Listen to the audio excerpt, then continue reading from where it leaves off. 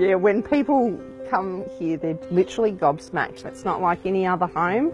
We have koalas, wallabies, sometimes wombat, everything running around here because we just don't have a 24 hour wildlife rehabilitation and rescue centre for Victoria.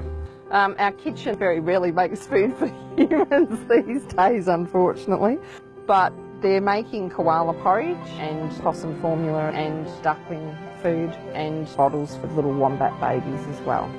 It's quite difficult emotionally because you do come across a lot of cruelty cases and you come across a lot of sadness of, you know, orphaned animals that wander around for days looking for a mum like this little one has here and um, they're just exhausted when they come in. It's so sad for them. And they're sad because they've lost their mum. They don't know what's going on. The average person just has no idea how many animals get injured on a daily basis and they think we get paid for what we're doing, which we don't. And they're shocked at the amount of animals that we have in our care yeah, they're just, they're so surprised. At any point in time, we sit in around $26,000 worth of debt. It's never ending, and so many animals are dying, so many animals are coming into care. And if we want to save our precious wildlife, we've actually got to do something, and we need to do it now. I love our wildlife.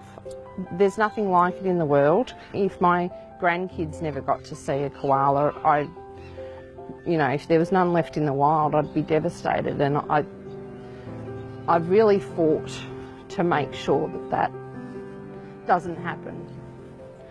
It's always been my dream to start up a 24 hour wildlife rescue and rehab centre. We've got lots of big hearts and willing hands here, but we need a proper facility. A dedicated 24 hour emergency centre where animals like this can get the treatment they need. Your vote can help to make that happen. Vote for Animalia Wildlife Shelter.